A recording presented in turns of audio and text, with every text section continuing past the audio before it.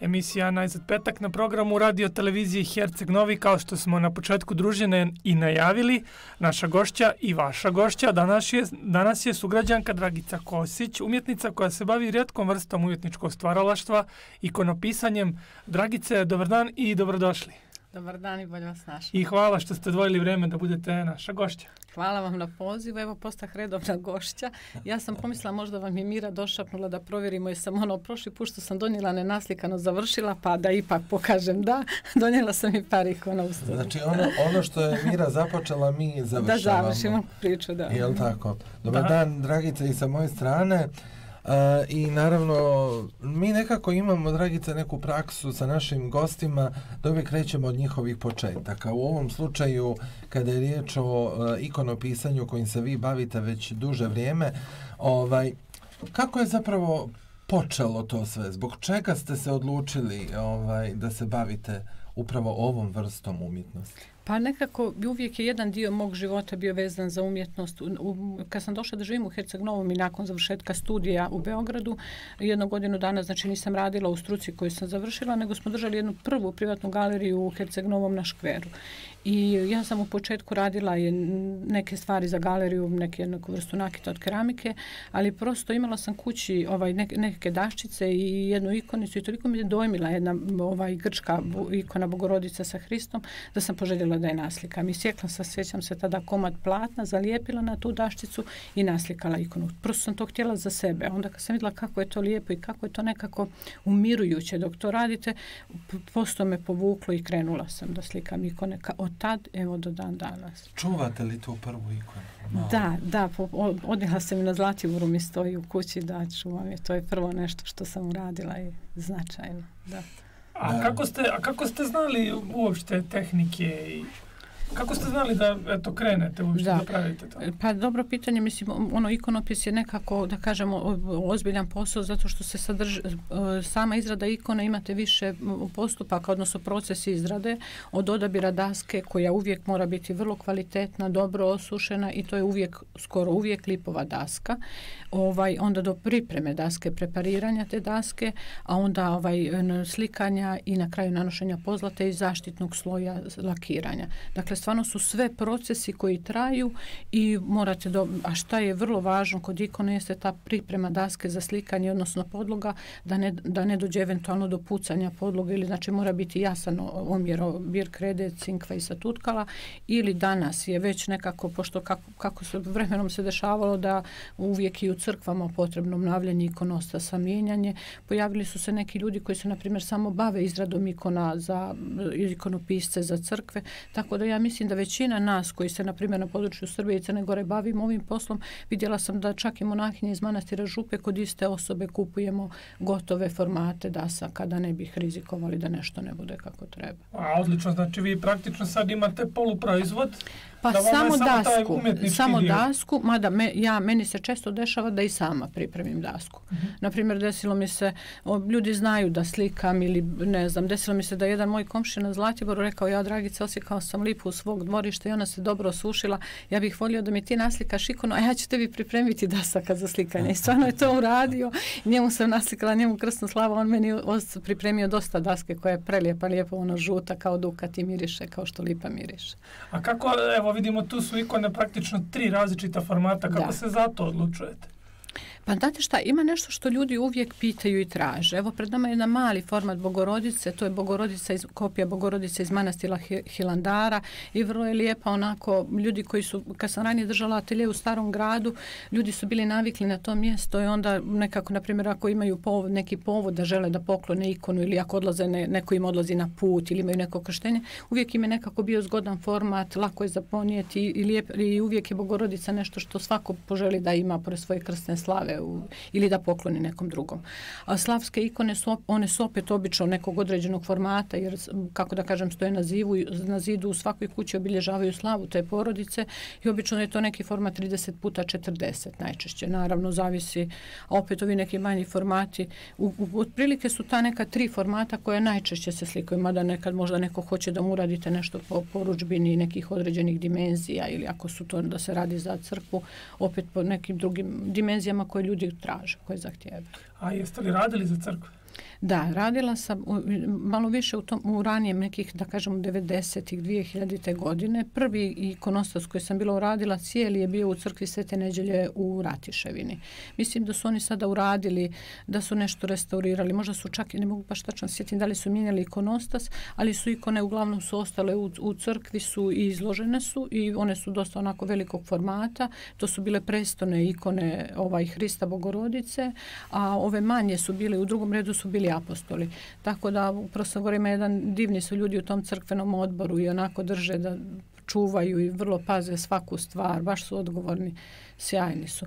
Onda u Igalu također dok je otac Blagota bio starešina hrama, radila sam tada u drugom redu, radila jedna naša sugrađanka, učiteljica ili profesorica Mira i ona je radila dvije ikone, ja sam radila u drugom redu i mislim da su i oni sredili sada ikonosta, da su promijenili, čini mi se da je mermer na, da je mermerni ikonosta sad u pitanju, nekako je otvoreniji, onda u crkvi Svetog Save u Morinju i na Mokrinama u crkvi Svetog Ilije. Ponekad bih ja nešto isto priložila, ali ne bih to, neka bude skrom da ostanemo pri tome. Svaka, svaka vam čast. Da. Dragice, govorimo o, o zaista izuzetnoj vrsti, da možemo je slobodno reći i ovo je vrsta umjetnosti.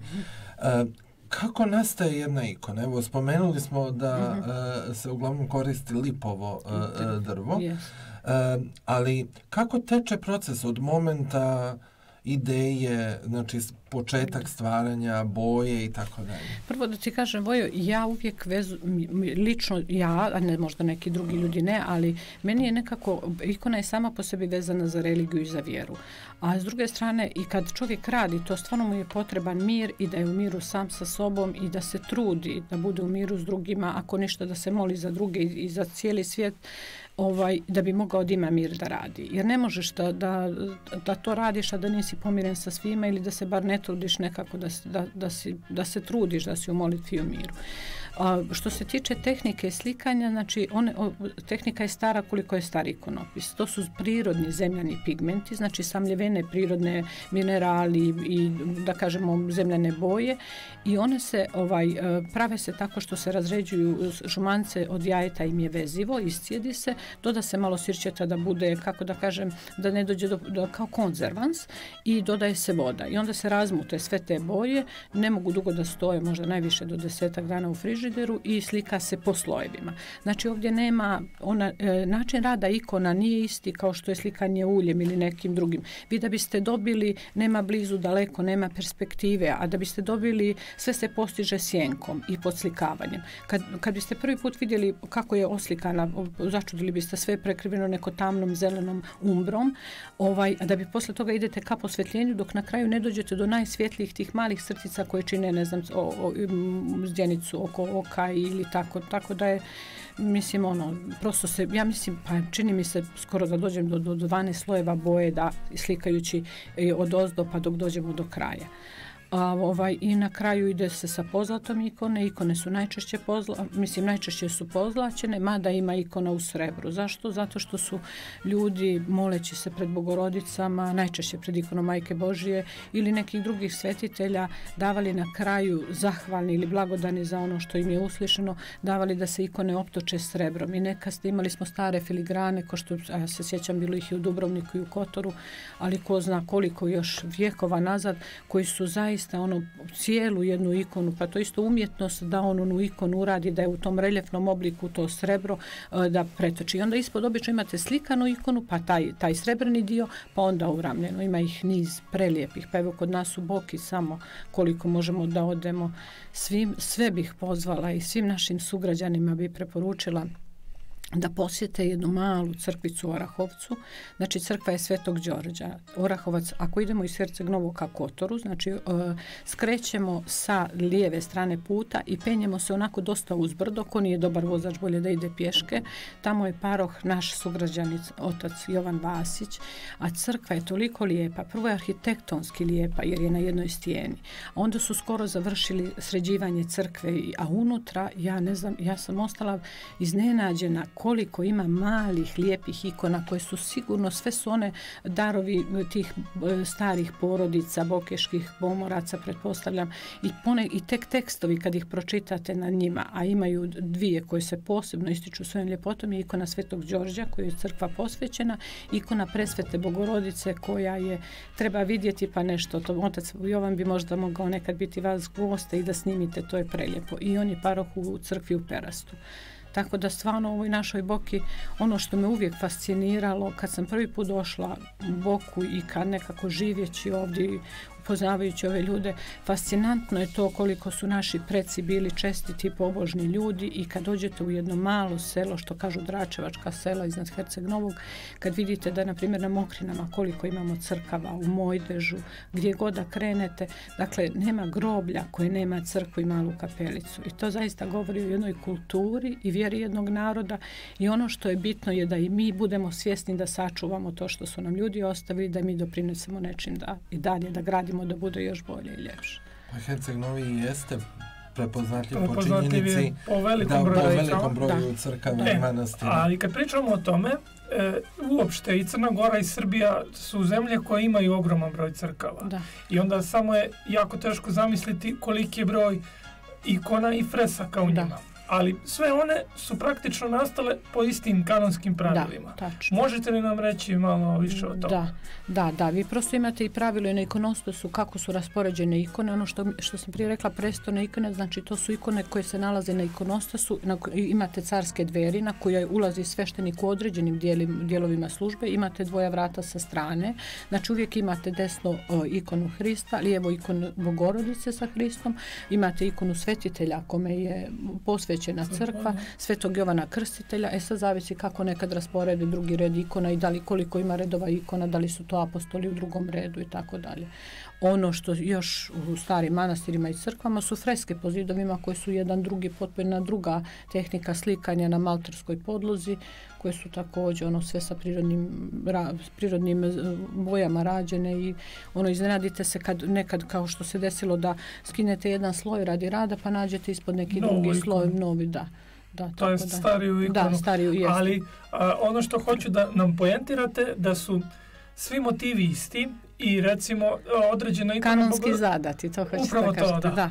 da da u pravu ste da i da da tačno od, od toga na koji način se slika koje su to boje odežde bogorodice do toga da prosto vi ćete uvijek prepoznati lik svetog Nikole on je uvijek proćelav sa mhm. sjedom malo sjedom bradom i kosom lik svetog Đorđa koji je mlađi koji je na konju kao pobjednik e, zla ili pobjednik hrišćanstva Pa ja, Marija Egipćanka, to isto, ne, evo sada je vaskršnji post i vrijeme, posebno vrijeme, da kažemo, drugačiji red bogosluženja za vrijeme vaskršnjeg posta, stroži post u odnosu na druge, na druga četiri posta u toku godine, ali na primjer jedna, jedna od nedelja posvećena je častom krstu i, čita se, i čitao se na početku, a i sada neki dan kanon, kanon Andreju Kritskom, u kome se pominje Marija Egipćanka, jedna, jedna izuzetna svetiteljka, kažu, velika grešnica i još veća pokajnica, ali na primjer ne možete da ne prepoznate njeno lice jer je nju nagu sreo u Jordanskoj pustinji, za Jordanskoj pustini, otac Zosima koji je pričestio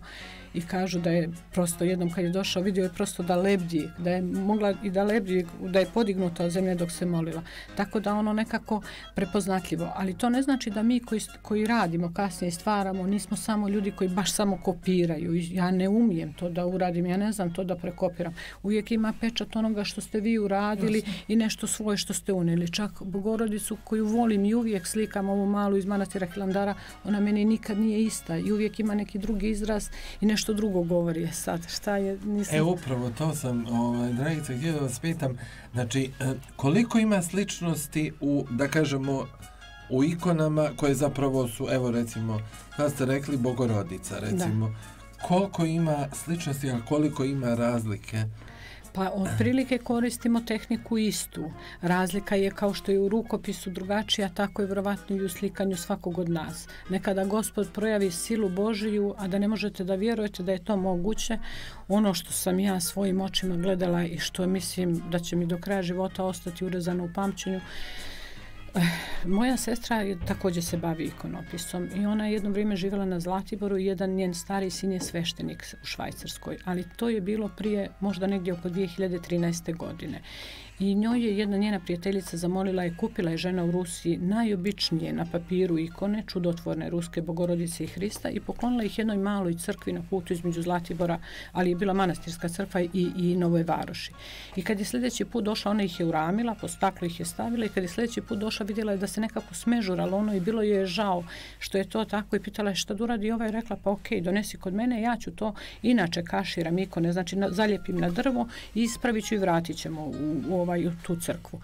I kaže, ova žena je taksijem poslala, nije imala kada dođe, uzela je taksi i poslala ikone. Kaže, Dorica, rano ujutro 8 sati zvoni neko, kaže, donosi mi taksista ikone. I ona onako iznenađena stavi na tu svoju sofu dnevni boravak ikone, ali čak, ja mislim, četiri da je imala i ovaj i kaže a, osjeti da nešto miriše u kući da sve miriše u kući. Ona nije palila tamna nije ništa ali pošto je ona ima veliku kuću izdavala je apartmane i gore iznad nje u tom tada je bio neki monah iz manastira kao ne doveo svoju majku da se malo odmore.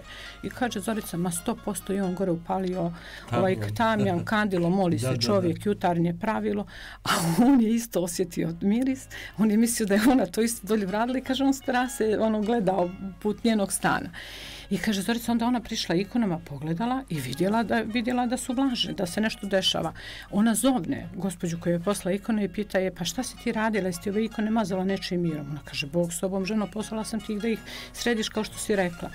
I onda su ikone počele, na, znači na staklu, počelo je to staklo da mirotoči iz ikone Bogorodice i Hrista. Desilo se, Bogu dragom, hvala da smo tad bili ovaj, i moja dva sina i ja na Zlatiboru i ona nas izvala i svi smo, pošto ono živimo na različitim dijelovima eh, grada, ona nas izvala da dođemo i odjednom smo se skupili kod nje Nestvarno je to bilo. Znači, sjećam se moj Savo, tada ono momak završio fakultet, pun sebe, bavi se sportom, bio neki prvak negdje. On je došao kao malo dijete, je sjeo pored ikona, potpuno se zaboravio, odjavio se gdje smo mi to i gleda i ne može da vjeruje da pred njegovim očima mirotoče ikone. Onda je došao i taj sveštenik iz čijeg je to, iz čije crkve su donijete ikone, tek njegova reakcija je bila za sve nas nestvarna, gdje čovjek prosto počeo da plače, da je dobio ono kao milosti, da li je ovo moguće?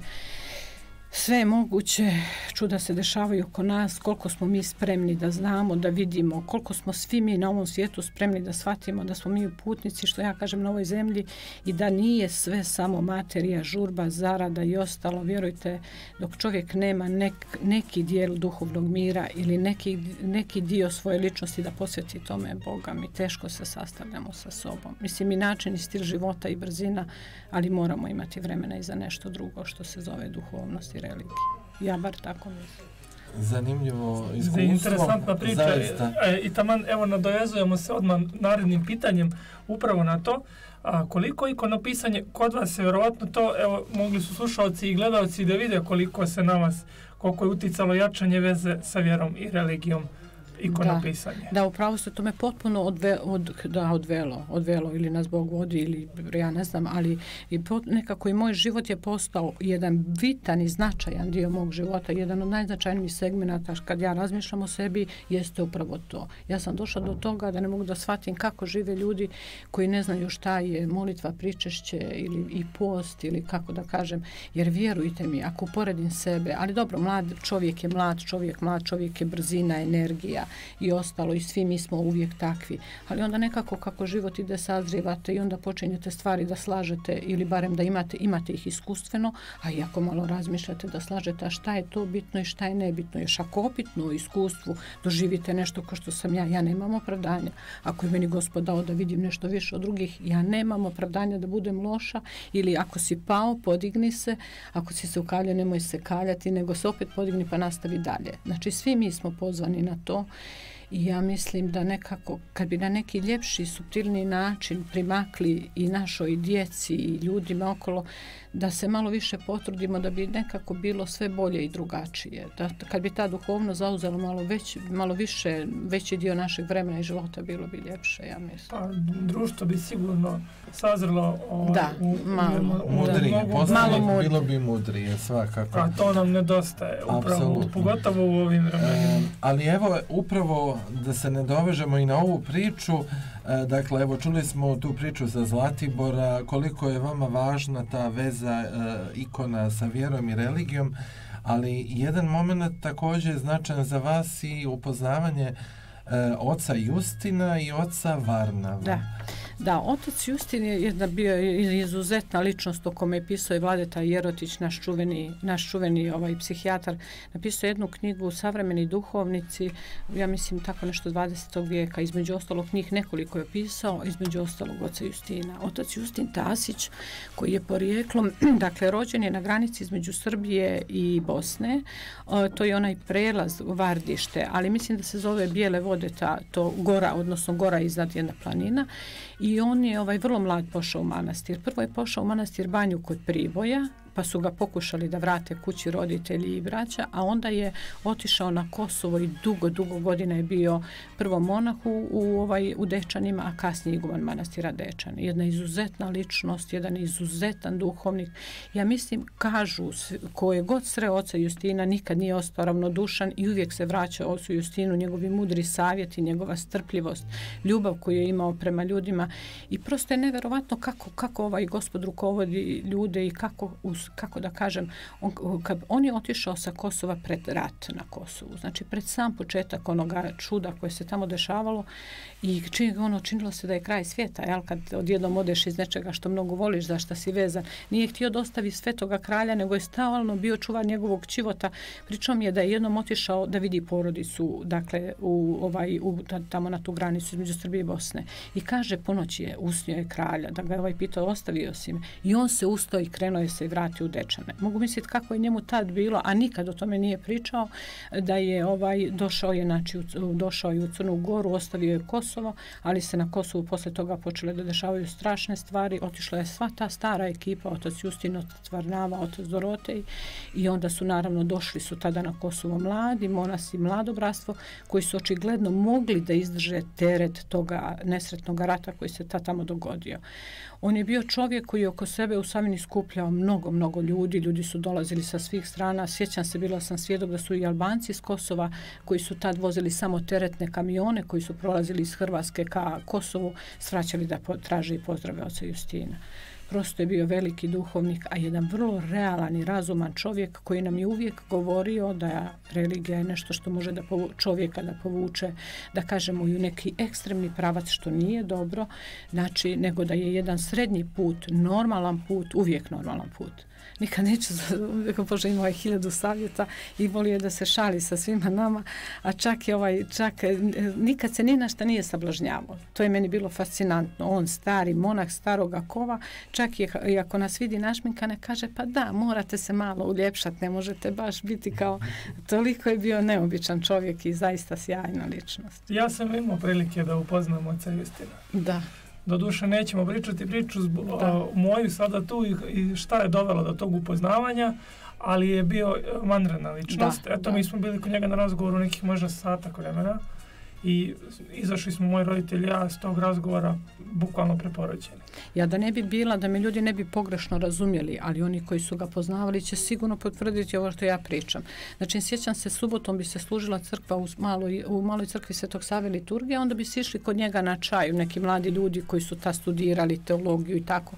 I mi sjedemo i sa svih nešto hoće da ga pitaju, a svi se nešto usručavaju za stolom, a vjerujte mi, on jednom po jednom pošalje odgovor sa tri rečenice, vi ga niste pitali, vi ste dobili odgovor na ono što zbog čega ste mm -hmm. ovaj došli i prosto onda idete dalje.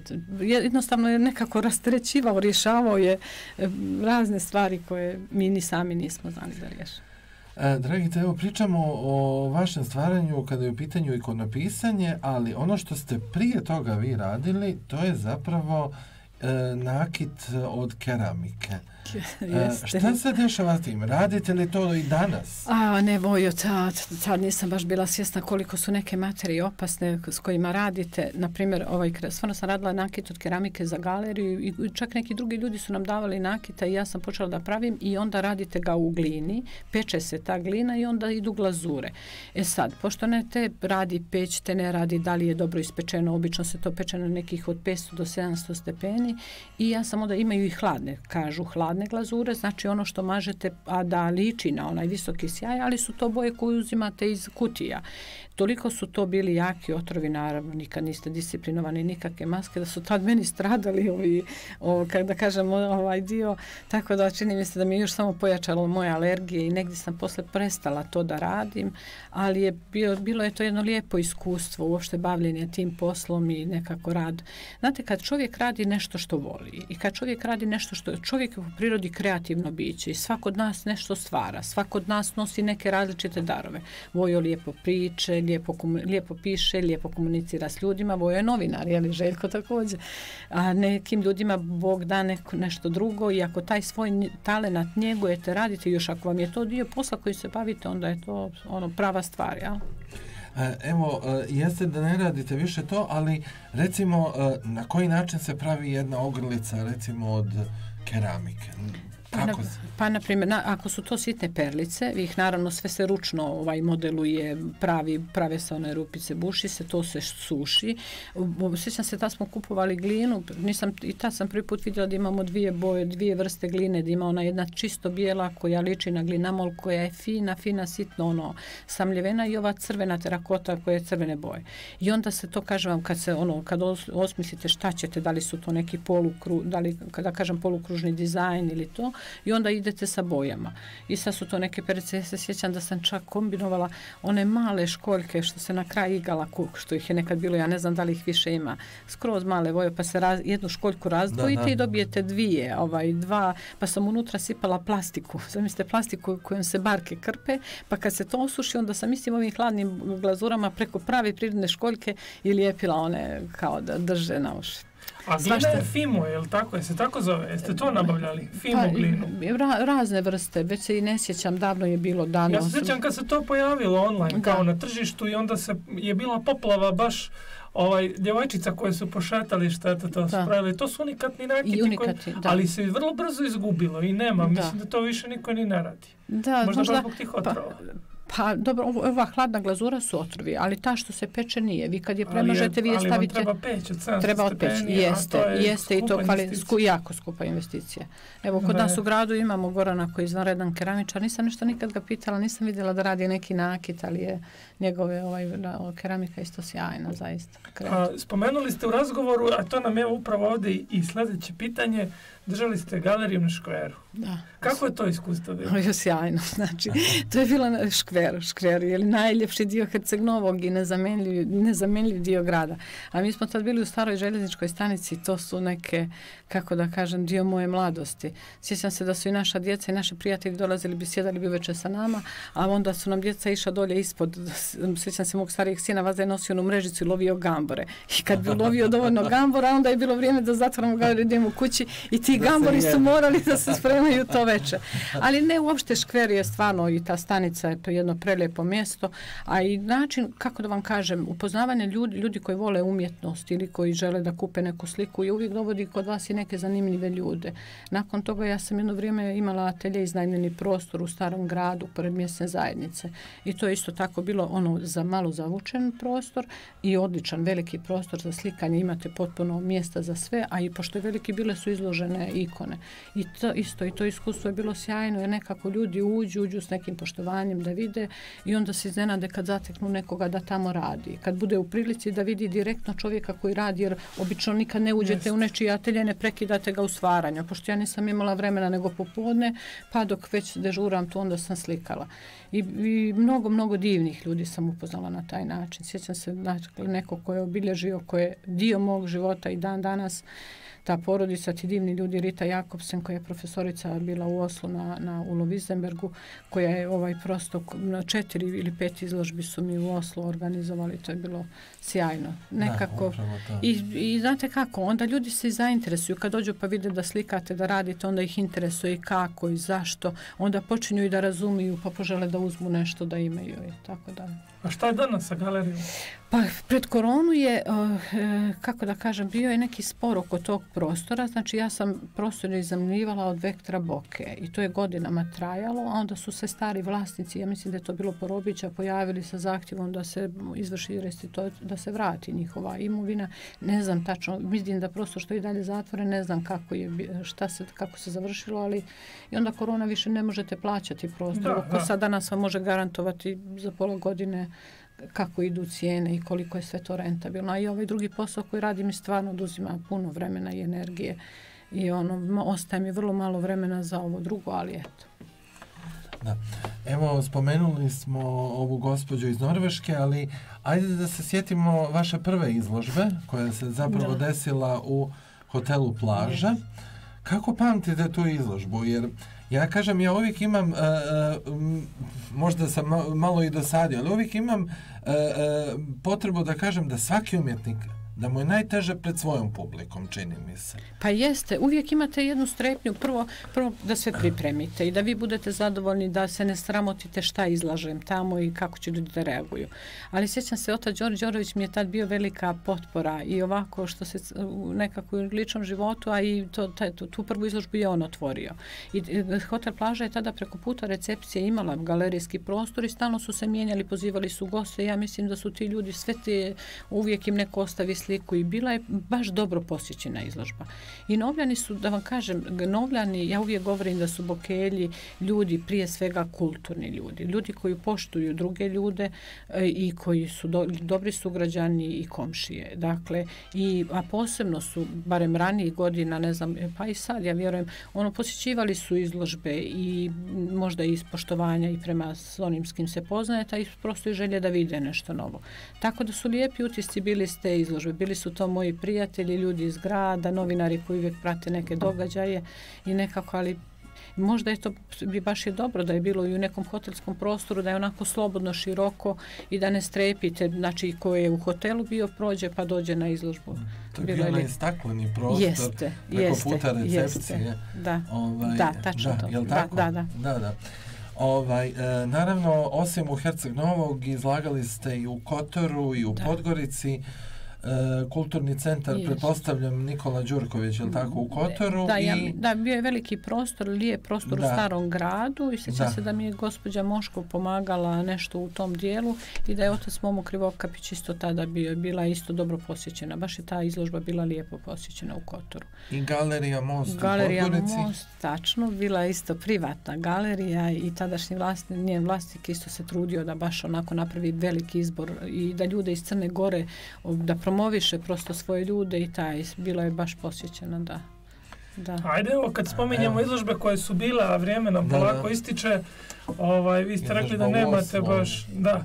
Eto, ostale ta izložba u Oslu, može da se to spomene i da nam kažete kakvi su nam planovi za, za neki budući period, da li možemo očekivati neku novu izložbu?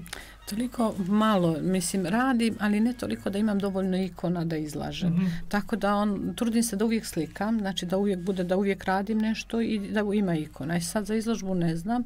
Ono što smo, Vojo i ja smo juče malo pričali o svemu i ja sam Vojo rekla kako smo 2018. godine napravili druženje umjetnika Herceg Novog.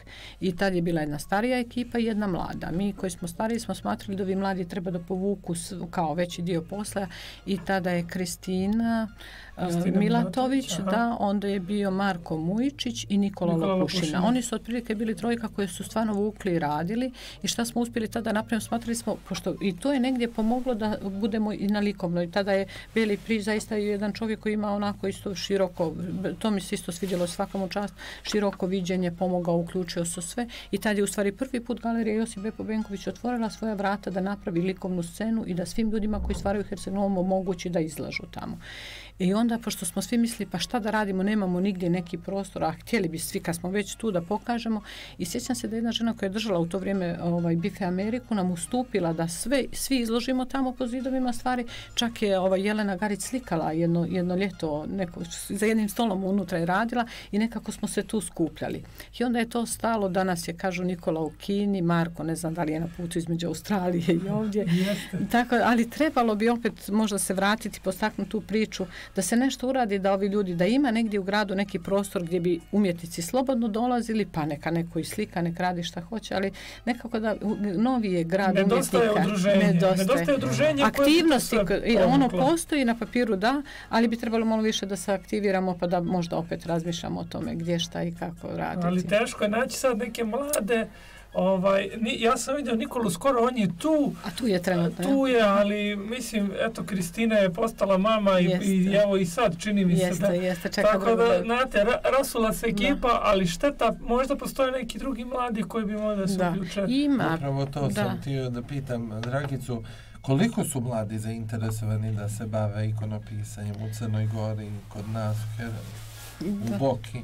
Pa znaš kako ovo, ovaj, ono što otvorila se u Beogradu pri, pri e, ovaj crkvi akademija, bila je tad kad se otvorila preko puta Saborne crkve na Kalemegdanu, onda ovdje kod nas u Crnoj Gori, ne, mislim na akademija da, može, na akademijama ćete dobiti solidno obrazovanje, a kod nas u Crnoj Gori su uglavnom po manastirima slika. Ono što je, koliko ja znam, da su monahinje u manastiru Župa kod Nikšića imaju, znam, vidjela sam lično, bila sam, imaju preljepu ikonopisačku radionicu, one se bave tim, bave se ozbiljno, posvećeno, tako da ako po blagoslovu možda neko može dobiti da pođe, da eventualno uči, nisam sigurna, ali to su mogućnosti. E sad, koliko se ljudi bave, evo skoro smo imali izložbu, jel tako, Ivana Zečevića, tako yes. da uvijek ima ljudi koji su zainteresovani, ja mislim. Da. da. Evo spomenuli smo vaše izložbe, bilo je to i bilo je to i učešće, vi ste nekako uvijek dio i Hercegnovske likovne scene, je tako, da, tradicionalno? Da da, kao i većina umjetnika iz našeg grada. Da, pa to, to je ono što je u stvari te 2018. kad smo napravili udruženje i od tad je likovna scena i ono makar je dobro da se jednom godišnje sretnemo i vidimo na likovnoj sceni pa da se ne zaboravljamo, da prosto jedni druge i posjećamo šta kod nas radi, da vidimo šta svako radi, možda će nas to opet negdje, nati, mislim ono da ako se skupimo pa da na, nešto uradimo, da se ima taj neki prostor ili nešto gdje će ljudi izlagati tokom cijele godine ili barim tokom ljeta mjesta. I uvijek govorim ti neki mali tipski atelje ili, kao, atelje ili neki prostori bi trebali u gradu se osmisliti pa da imate neki dio da kažete da ovdje su umjetnici možete posjetiti i vidjeti ili... Pa evo, može, može to bude apel lokalnoj upravi da se u omladinskom centru koji je skoro renoviran možda nađe neka prostorija upravo za likovne umjetnike. Ali i pravljenje tih nekih, negdje, ne, da kažemo, a da nazovimo rupe u prostoru, ako postoje negdje, ko što je nekad između hotela plaže, na onom dijelu šetališta gdje je proširenje, nekad su tu bile, ali to su bile drvene kućice koje je opština izdavala ili već ne znam ko mi opština da. ili turistička agencija, ne znam čije vlasništvo bilo, znači izda, kao što je turistički biro. Tako male prostore bi mogli 5-6, pa neka makar 5-6 ljudi stvara, izlaže ili jedan od njih da bude samo izložbeni prostor za sve, pa bi se smjenjivali, dežurali oni koji stvaraju. To bi Imate bilo ideja, treba da. samo sa nekim iz Da vidimo s ovim što prave planove, ja, da, da, da, da pravimo neke projekte da realizujemo. Da. To je to. Da. Nama je polako ističe vrijeme, da. nažalost. Tako Interesantan je razgovor, ali eto, Dragice, vi ste rekli da nemate vremena da ostanete sa nama do kraja emisije. Pa ništa Ali ostane. to ne znači da nam neće doći ponovo u posjetu. Boju, da me ne bude previše. Hvala vam na pozivu, bilo mi je zadovoljstvo. Hvala građanima i vašim gledalcima što nas slušaju. Nadam se da neka ovo bude i mali povod da sve posjetim, da se približava vrijeme Vaskrsa i da svi negdje porazmislimo o sebi, da svako od nas odvoji malo vremena i za molitvu i za crkvu. Prosto da budemo kompletni ljudi ili da se trudimo da to bude. Da budemo bolji. Da budemo mislim, bolji, bravo. Mislim da je to upravo uh, poruka za kraj. To to. Uh, mislim da ne treba više ništa nebojša da dodajemo. Dragice, hvala puno. Uh, mi vam želimo šta drugo nego e, puno uspjeha sa ikonopisanjem. E, voljeli bi da se vratite malo i ovom nakitu. Dakle, eto, od svega pomalo i onda da te, to sve zaokružimo sa jednom novom izložbom opet u, u našem gradu. Hvala Vojo, očigledno da sve ide u tom pravcu i da ja, ako Bog da, namjeravam da završim taj svoj posao, pa šta god, e, ali bolje mi je da se vratim ikonopisu i da se opet vratim u neki drugi dio mog života i mislim da će to tako polako da ide u tom pravcu. Hvala vam lijepo, hvala Željko što ste me pozvali. Hvala, hvala i vama. E, toliko, dakle, u ovom našem prvom dijelu druženja slijede najnovije vijesti i vremenska prognoza, a onda se vraćamo opet u studio.